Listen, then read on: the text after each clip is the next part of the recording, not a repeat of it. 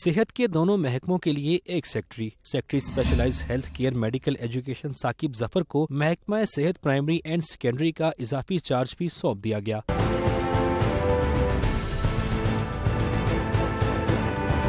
मुस्तकिल सेक्रेटरी की तैनाती तक साकिब ज़फ़र महकमा प्राइमरी एंड सेकेंडरी हेल्थ में अपने फ्राइज सर अंजाम देंगे।